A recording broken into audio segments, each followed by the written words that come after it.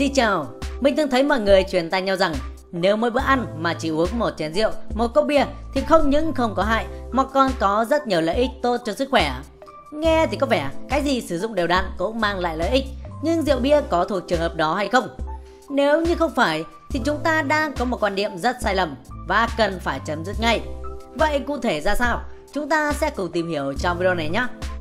Thực ra thì trong dân gian, ai cũng cho rằng uống rượu đều đặn mỗi ngày là tốt, ít có những bàn cãi.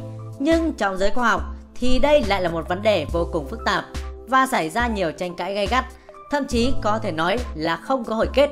Bởi vì có hại hay không có hại, nó cũng xảy ra rất từ từ qua hàng chục năm. Nó không phải thuốc độc mà uống vào cái là chết luôn, nên việc nhận ra tác hại là vô cùng khó. Chưa kể, trong đời người chúng ta ăn cả tỷ thứ đồ, nếu chẳng may sức khỏe có kém đi thì rất có thể do cái nào đó chứ chắc gì đã liên quan đến rượu bia. Vậy nên để nghiên cứu được một kết quả rõ ràng và cụ thể là việc có vẻ như không khả thi. Vậy thì đâu mới là sự thật? Trước hết, chúng ta hãy cùng đến với quan điểm của trường phái các nhà khoa học ủng hộ việc uống rượu mỗi ngày. Đầu tiên là thông tin được đưa ra bởi Bộ Nông nghiệp Mỹ vào năm 2010 cho biết mỗi ngày nên uống một ly rượu đối với phụ nữ và 2 ly đối với đàn ông sẽ có rất nhiều lợi ích cho sức khỏe.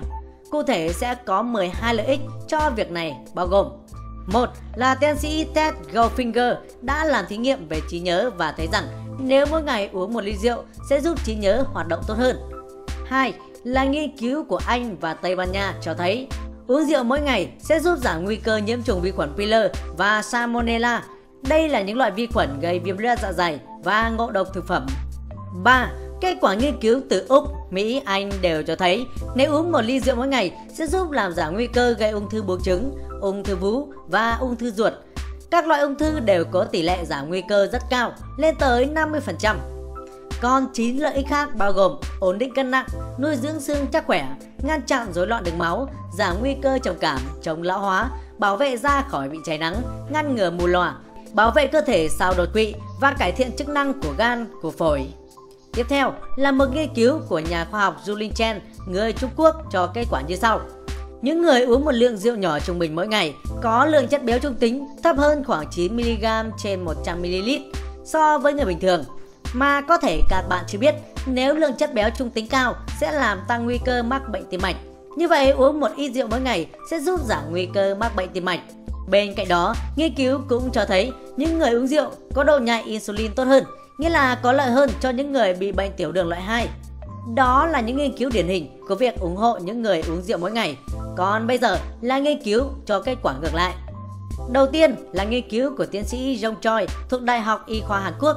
Năm 2009, ông cùng các cộng sự đã nghiên cứu dữ liệu từ 9 triệu 776 nghìn người chưa mắc bệnh AFib. Đến năm 2017, những người tham gia đã có kết quả như sau. 7,7% những người không uống rượu mắc bệnh AFib. Với những người uống một ít mỗi ngày thì tỷ lệ là 8,6% và nếu thường xuyên uống nhiều thì tỷ lệ lên tới 21,5%. Như vậy chúng ta thấy uống đều mỗi ngày ít nhiều gì cũng gây hại cho cơ thể. Để các bạn hiểu hơn thì bệnh AFib là bệnh về tim mạch gây ra triệu chứng đập mạch không đều, đau ngực, khó thở, mệt mỏi và rối loạn nhịp tim. Tiếp theo là một nghiên cứu từ trường đại học Oxford. Nghiên cứu này được thực hiện trên 500.000 người châu Á từ năm 2004 đến năm 2017.